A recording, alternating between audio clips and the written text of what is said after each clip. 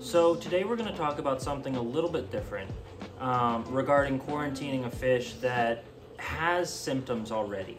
So I bought a hippo tang, you know, the, the dory fish, um, recently from someone that was medicating improperly at low levels and they weren't in the medication for the recommended amount of time. Now, what this can do is it can actually mask some symptoms.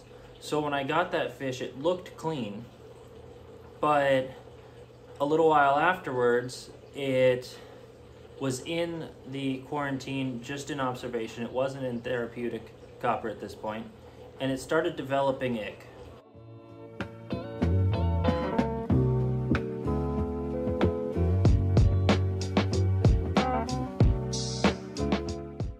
So my response to that was actually to do a 30 minute hydrogen peroxide dip. And come to find out, I actually did something a little wrong, but I'll get to that in a minute. But doing this dip cleared away a lot of the ich that was on the surface of the fish. So this helped to relieve some symptoms while I increased the copper in the quarantine to, you know, eradicate the problem.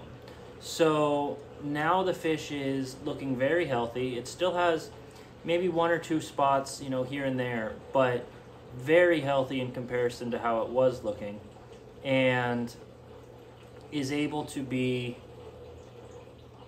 you know to go through the rest of the quarantine process without the risk of dying off before you know the copper can catch up so doing this hydrogen peroxide dip really helped to, you know, give yourself a little bit of time and doing it with something as simple as hydrogen peroxide that you can get at any pharmacy. I picked it up at CVS, you know, means you can do it the day you recognize symptoms. You pull the fish, you do the dip, then you can worry about the rest because you know you've given that fish a little bit longer before it really has, you know, the ich overtake it. Now, this is not a cure. It's not um, it has not been proven to in any way completely eradicate ich, but it relieves symptoms, that being the critical part, that it's relieving it enough that copper can catch up.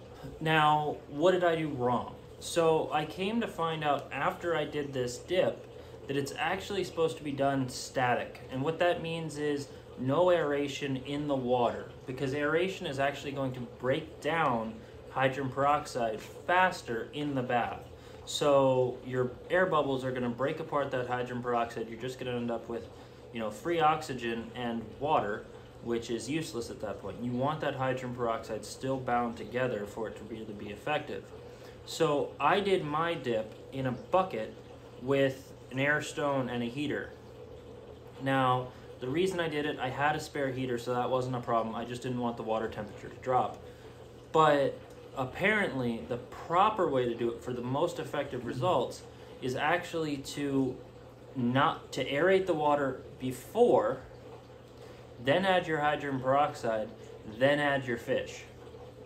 If you do it the reverse that aeration is actually going to break apart your hydrogen peroxide. Now that being said although this was not the most effective method it worked. So it's not like doing it this way is going to harm the fish. It just is not the most effective manner. So if I was to do this in the future with another fish, I'll follow those procedures, but I'm still happy with the results. If you saw the fish beforehand, and I apologize because all of my footage is terrible, the fish obviously would not stay still. But if you look at the fish now, and I got better footage of this, the fish is relatively clear. So the combination of doing this dip and increasing the copper levels has actually removed 99% of the ich at this point. So it's getting to a part where I can start that healthy quarantine, eradicate ich from the system, and that fish will be good to go in this display tank. Hopefully in the next, you know, month or so. Hey YouTube. So February 6th, I am doing an interview with Humblefish, and we're actually talking about improper techniques of quarantining and medicating fish being done by wholesalers and fish stores and what that could mean for the hobby. So stay tuned, hit the subscribe button, you know, turn on that bell notification so you can find out if improperly quarantining is better than nothing or if it's actually worse for the hobby that stores are doing this.